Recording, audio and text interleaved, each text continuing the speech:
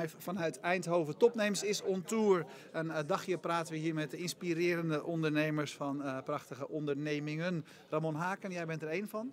Ja, Je bent klopt. van eh, Avular. We zitten hier op de high-tech campus. Hoe high-tech is Avular? Avular is eh, behoorlijk high-tech. Ehm, wat we maken is, we maken een eh, professionele drone. Eh, en wat je heel veel ziet, is, eh, waarschijnlijk heeft iedereen wel eens een, een drone zien vliegen in zijn of haar omgeving. Waarschijnlijk met een GoPro-camera eraan, eraan om filmpjes te maken. Ja. Ehm, in die zin, ehm, high-tech eh, lijkt het niet echt. Maar als je wat verder gaat kijken, dan zit er best wel veel techniek achter een, achter een drone. Zeker als je het wil gaan gebruiken in een professionele toepassing. Er komt eigenlijk nog wel wat stapjes bij kijken. om het meer te maken dan alleen iets wat, wat gebruikt wordt voor de, voor de lol.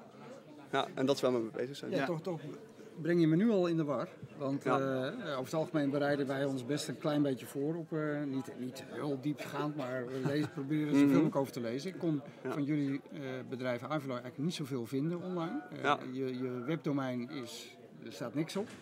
En dan ergens anders staat ehm, eh, op de site van eh, eh, Climate. Kick eh, Startups, Ja. staat dat jullie een agricultural data platform zijn. Ja, dat, associeer ik niet onmiddellijk met een drone. Nee, nee, dat klopt. Eh, een drone is in die zin ook echt een, eh, een middel om uiteindelijk een, eh, een doel te bereiken. Ehm, en waar het in de agrarische markt onder andere om gaat, is het zorgen dat je veranderingen van, van gewassen bijvoorbeeld over tijd kan zien en dat met elkaar kan vergelijken, zodat je daarop kan sturen. Dus waar het in de agrarische markt om gaat bijvoorbeeld, hè, je hebt bemesting, maar er zit heel veel verschil tussen het ene plantje en het andere plantje. En op het moment dat je dat in kaart brengt met, met een drone bijvoorbeeld, eh, kan je met die variatie kan je, kan je iets gaan doen.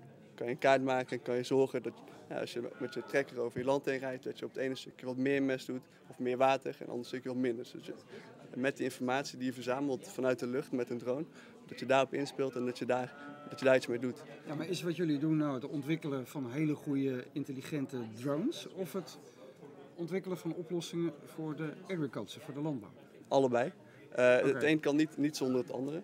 Het ene En gaat echt... omdat Ja. in, in principe betekent het eerste dat je zegt, nou we hebben een drone en nu doen we landbouw, maar Mhm. we gaan straks verder naar, eh, Mhm. eh, weet ik veel, surveillance van gebouwen en Mhm.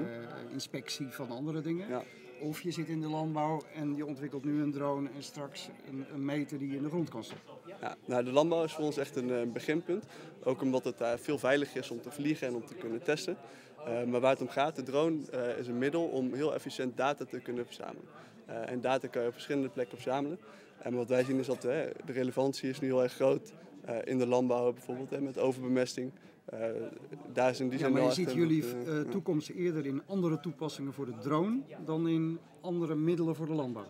Ehm, nou, wat we echt willen gaan doen is ook echt samenwerken met experts die er nu heel veel verstand van hebben. Wij, zijn niet, wij hebben niet in Wageningen gezeten, wij hebben niet de kennis eh, van, van de planten zelf. Dus wij zijn, eh, in die zin faciliteren wij tussen de expert die heel veel weet van, van een gewas, die daarop kan adviseren, en de eindgebruiker, dus in dit geval de boer. Dus dat is onze rol ook binnen, binnen het spel. Echt degene die de data verzamelt, beschikbaar maakt voor de klant. Eh, en, en dat is waar wij echt ons op richten. Ja, maar net bij wat Roeland eigenlijk, dus zijn vraag is, Ja. is dit platform straks op allerlei andere terreinen inzetbaar of gaan jullie dieper de landbouw in? Ehm, nou, daar zijn we zelf ook nog, eh, nog mee bezig. Eh, we hebben een hele specifieke case ook voor eh, in de agrarische markt, waar we nu heel erg mee bezig zijn. Eh, wat we wel merken is, hè, er zijn heel veel toepassingen ook binnen de landbouw, heel veel verschillende gewassen. Dus daar zijn zeker stappen nog te maken. Maar in- de basis zijn we een drone maken die heel efficiënt data kan verzamelen. Ja. Dus dat is ook de De kern drone van is wat toch we het goed zijn. belangrijkste. Ja, maar wel, ja, we zijn heel erg Wel bewust toegepast, van... maar wel toegepast. Ja. Ja. Wat ik wel interessant vond in jullie eh, de teksten die ik dan kon vinden, is Ja. dat jullie eigenlijk willen dat in de landbouw mensen keuzes maken op basis van data en niet op basis van ervaring. ja, En je zegt dat dat beter werkt. ja. Eh, waar blijkt dat uit? Kun je daar eens een voorbeeld van geven? Nou, de, een van de redenen dat, eh, dat is echt een trend ook die, eh, die gaande is. Ehm, ik weet niet hoeveel jaar geleden, maar laten we zeggen 50 jaar geleden, was een stuk groter hè, percentage van, van het werk wat überhaupt werd gedaan, kwam uit de landbouw. Laten we zeggen dat het 30 of 50 procent was. Eh, en ondertussen is er heel veel schaalvergroting heeft plaatsgevonden. Ehm, en daardoor heb je veel meer hulpmiddelen nodig om te kunnen sturen op, op wat er gaande is met je gewas. Dus bijvoorbeeld in Amerika heb je echt enorme boerderijen. Eh, en dat is echt niet iemand die door het veld heen loopt en elk plantje inspecteert en kijkt wat er aan de hand is. Nee, maar ik probeer het even concreet te maken. Dus misschien kun je me even helpen. Ik heb een, Ja. eh, een boer en die verbouwt, eh, weet ik veel, maanzaad. Ja. En die moet een drone van jullie kopen, want. Mhm. Waarom moet hij dat doen? Ehm, nou, een aantal dingen. Ehm, hij kan besparen op zijn gewasbescherming, dus eh, bestrijdingsmiddelen. Eh, daar kan hij Waarom besparen. kan hij daarop besparen? Nou, omdat er variatie zit tussen het ene gewas en het andere gewas. En die verschillen binnen een veld zijn echt gigantisch soms. Dus hij kan dan, vroeger zou hij maar alles hetzelfde bespuiten, zeg ja, jij. ja, precies. Maar nu ziet hij dat er een bepaald gedeelte minder nodig is en een ander gedeelte meer. Ja, en per saldo besparen daarop. Maar ik- dan snap ik het nog steeds niet. Want jullie Mhm. vliegen eroverheen met een camera. Of, Ja. En hoe interpreteer je dan die beelden? Ehm, nou, dat is waar het, eh, wat ook spannend wordt, waar experts bij betrekken. Ehm, die informatie die vertalen we, dus we doen een meting. We constateren dat er verschil zit tussen het ene gewas en het andere gewas. En- Hoe constateer je dat? Want ik probeer het uit te vinden, is het een geautomatiseerd proces? Eh, Ehm, eh, wat, wat, of, of zit iemand een videobandje te bekijken? Wat, wat doen jullie precies? Nou, wat we precies doen is we hebben een, GPS-kaart. gewassen? Eh, wat, wat doe je? Hang, hangt van het gewas af. Maar in, in de basis meten we nabij infrarood. Dus het echt, eh, dan kun je vaak iets zeggen over eh, de groenheid van een gewas. Bijvoorbeeld bij aardappelen zit een groot gedeelte. De aardappel zelf zit onder de grond. En aan de hand van de plant, dus alles wat boven de grond zit, kan je het een en ander aflezen over hoe gezond dat gewas is. Dus, eh, dus voor elk gewas is dat weer net wat anders. Ehm, hè, maar in dit geval kan je door de- iets te zeggen over het loof, kan je ehm, variatie aanbrengen in de hoeveelheid loofdoding die je, die je toepast. Dus dat soort toepassingen zijn hele concrete cases die we, die we ook ja, opzoeken. Dus met veel met mensen praten en uitzoeken waar, waar de waarde zit. Hè. En dat kan ook in, in de opbrengstverhoging zijn.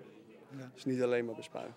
Hey, ehm, eh, je, je begon te zeggen, want je, iedereen kent wel de drones en dan is iemand zeg maar, die als een soort met een speelgoedvliegtuigje, eh, hè, dat is vroeger zeg maar, op een bepaalde manier staat te vliegen. Wij maken eigenlijk professionele spullen. Waarom, is, waar, waarom voldoen die anderen niet en, en, en zijn die van jullie beter? Ehm, nou, wat je nu heel veel ziet is dat, ehm, dat hobbyspullen eh, die worden gebruikt voor een prof- professionele toepassing. Eh, en waar het naartoe gaat is dat de regelgeving veel strenger wordt en dat ook de drones eh, aan dezelfde eisen moeten gaan voldoen als de bemande luchtvaart. Die eisen daar zijn uiteraard heel erg streng. En omdat het zo snel is gegroeid, exponentieel, heel veel mensen die gaan nu vliegen, loopt de regelgeving heel erg achter. En wat wij verwachten en waar wij op anticiperen is dat die regelgeving strenger wordt. Eh, en dat op hele specifieke stukjes kennis, dus de aansturing, de stabiliteit van de drone zelf, ehm, dat, dat dat heel veel strenger gaat worden. En dat is ook waar we heel erg goed in zijn. Ja, dus jullie zeggen eigenlijk die, van ons, die spullen van ons die zijn gewoon beter en die worden straks wel goedgekeurd en die anderen niet. Ja, er valt nog een, heel, een hele slag te maken. Dat Ja, is je eh, je waar wij zegt de aansturing, stabiliteit. eh, daar zijn wij beter in. En wat, wat, wat doen jullie dan beter? Waarin onderscheiden jullie je van al die anderen? Nou, om- een mooi voorbeeld te geven, eh, als je bijvoorbeeld vliegt eh, met heel veel wind, eh, hebben wij de techniek in huis om te zorgen dat als er een windvlaag komt, dat hij dat corrigeert. Dus dat hij weet wat hij dan moet doen en hoe hij terug kan komen in zijn eigen positie. En daardoor kunnen we een veel veiliger platform bieden. Eh, en ook eh, qua beelden willen we graag eh, herhaalbaar een stukje data meten in kaart brengen. En eh, door dat stukje op te pakken, door daar heel goed in te zijn, kunnen we zorgen dat we elke keer dezelfde beelden genereren en dat we eh, dingen naast elkaar kunnen leggen. Ja, dat je over tijd ziet. later wil je datzelfde stukje vliegen Ja. om eh, diezelfde metingen te doen om te, te, kijken of je iets gelijk hebt. Ja. Ja, ja, precies. Hey, en wat is jullie achtergrond? Hoe komt het dat jullie dit zo goed kunnen? Ehm, ik heb zelf geen, geen technische achtergrond, mijn collega's allebei wel. Ehm, maar onze achtergrond hè, van, van het bedrijf ligt op de TU in Eindhoven. Eh, en wat je daar ziet, er zit heel veel robotica. En die kennis die nemen we mee eh, in de drone. Dus de kennis, eh, vooral ook automotive kennis. Er zijn ook best wel veel standaarden waar je moet voldoen om veilig iets in elkaar te kunnen zetten. Eh, dus dat is echt ook onze achtergrond. Zullen we het filmpje even gaan- kijken? Want het- waar wij zeer, dat had Ja. niks met jullie product te maken, zei je, maar wel met eigenlijk jullie deskundigheid. Ja, Hè? Dus het is een, eh, Kun je dat filmpje instarten, Martinez? een jongleer, jonglerende drones. Ja, dit is heel erg fascinerend. Het is mij ook een van de triggers geweest eh, om hiermee te beginnen. Vooral ook toen mijn collega's vertelden, oké, eh, deze kennis, dit is precies waar wij ook heel erg goed in zijn, vanwege onze achtergrond. Je ziet Ja. een drone die gooit een balanceerstok over van de ene naar de andere. Ja, Die vangt er Ja. perfect op. Ja. Ongelooflijk. ja is wat de, de ene drone die, eh, die gooit de stok de lucht in. Hè, en uiteraard die stok eh, goed balancerend. En de andere drone die schat in, eh, door heel veel wiskundige berekeningen daarop los te laten, waar de waar gaat landen. Eh, maar je ziet ook dat hij, eh, als hij het aantal keer doet, dat hij heel veel beter wordt. Dus dat hij daarin leert. Dus dat is eigenlijk de... Ja, er zit heel veel wiskunde, er zit heel veel achter om, om dit voor elkaar te krijgen. Ja, Ja, dus dit is waar jullie de hele dag mee bezig zijn, met dit soort dingen. Eh, ja, Ja. ja, Ja, je ogen het wel op beginnen, je ogen beginnen erbij te, eh, te glimmen. Hou maar op met dat filmpje hoor Martinez, want eh, dat hebben we wel gezien. Ja. Jouw ogen beginnen niet te glimmen van aardappels, maar van drones, hè? Dat is wel duidelijk, hè? Nou, ondertussen heb ik eh, veel, veel van meegewerkt. Ik had daar een bepaald deel bij wel. Ehm, maar door heel veel te praten ook eh, hè, vanuit hè, met klanten heb ik daar toch wel heel veel respect voor gekregen hoe, hoe high-tech dat stiekem ook wel is. eh.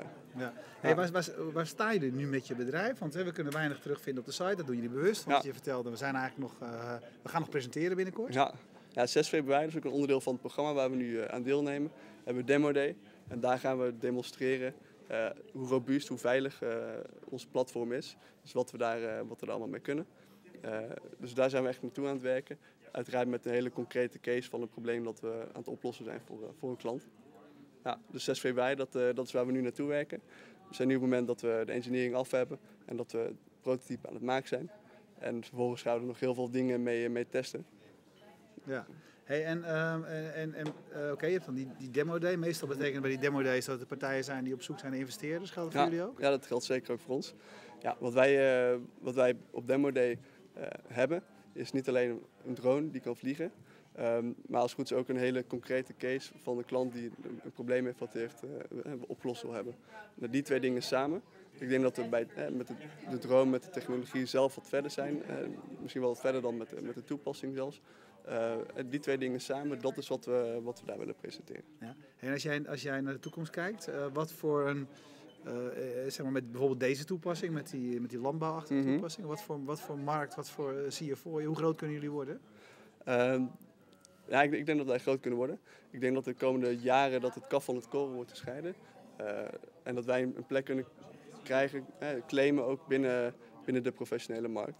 Ehm, er En dan, ook gaat het, en dan gaat het erom, wat je, dus maar corrigeer me als ik het niet goed Mhm. heb hoor. Wat jij zegt, is dat jullie eigenlijk een drone aan het bouwen zijn, kunnen bouwen, willen bouwen, die voldoet eigenlijk aan de eisen die je nu al stelt aan vliegtuigen, Ja. auto's, eh, dat soort dingen. Ja. Dat klopt hè? Ja, dat klopt. En er zijn ook best wel wat grote spelers actief in de, in de markt.